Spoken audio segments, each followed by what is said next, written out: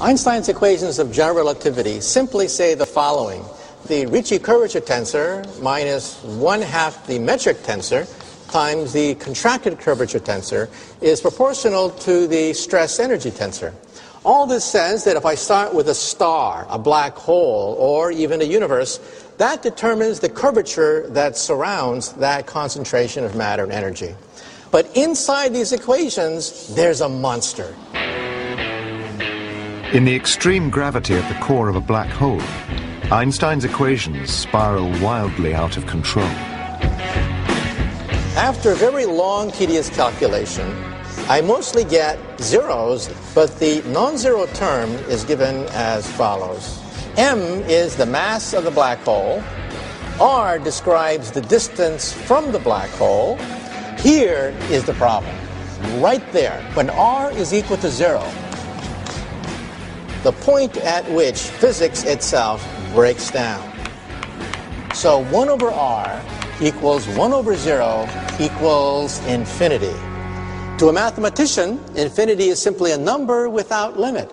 To a physicist, it's a monstrosity. It means that, first of all, gravity is infinite at the center of a black hole, that time stops, and what does that mean? Space makes no sense. It means the collapse of everything we know about the physical universe. In the real world, there's no such thing as infinity.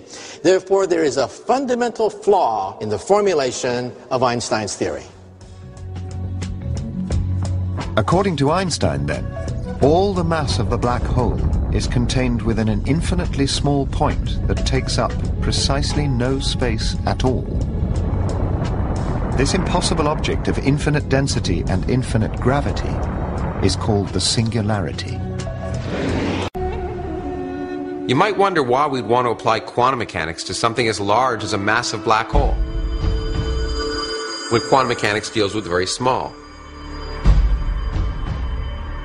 And that's because ultimately, at the heart of a large black hole is a singularity.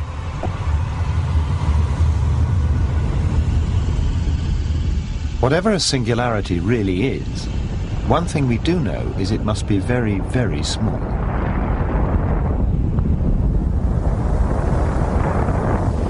It seems quite likely that in order to really understand what goes on inside a black hole, we will need quantum mechanics. That the final story of how a black hole works and what happens at the singularity can only be understood when quantum mechanics is included. This subatomic world quantum mechanics describes is nothing like the world we experience. Quantum mechanics tells us how the world works at a fundamental level, and it is stranger than you can imagine. In the quantum world, the mere act of observing changes what you see. You can't say where something is, only where it's likely to be.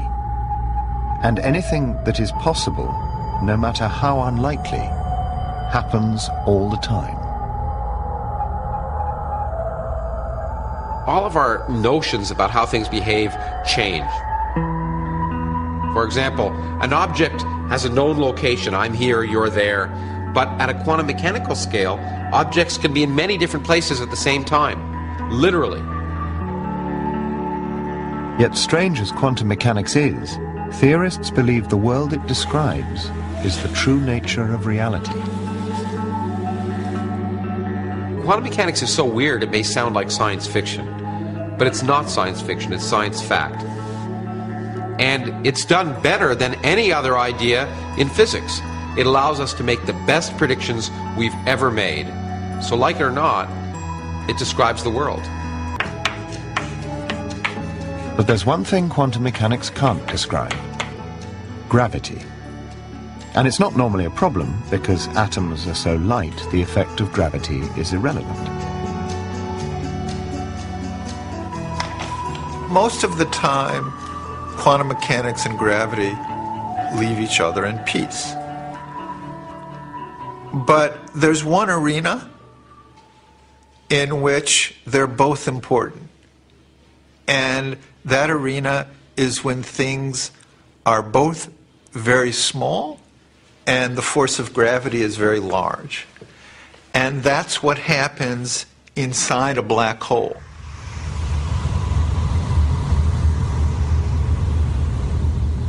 The singularity at the heart of a black hole is both astronomically heavy and infinitesimally small.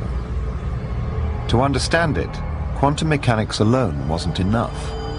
It needed to be extended to describe gravity, a theory called quantum gravity.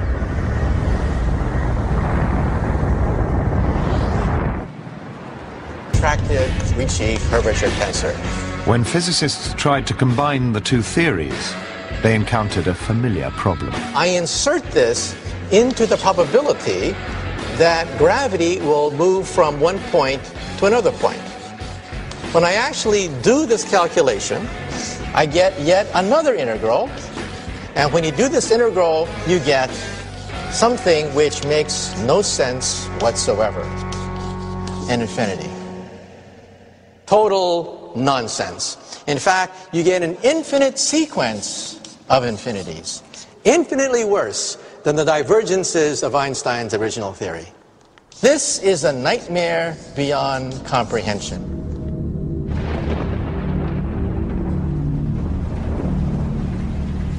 The search for a theory of quantum gravity had fallen apart because quantum mechanics and general relativity proved to be totally incompatible. I think the most embarrassing problem we have in theoretical physics is that we have these two different theories which won't talk to each other.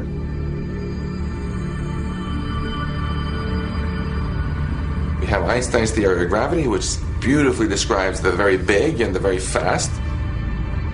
And then we have quantum physics, which very successfully describes the very small. And yeah, clearly nature has one unique way of operating. It's not schizophrenic. And we humans just don't seem to be able to find that way.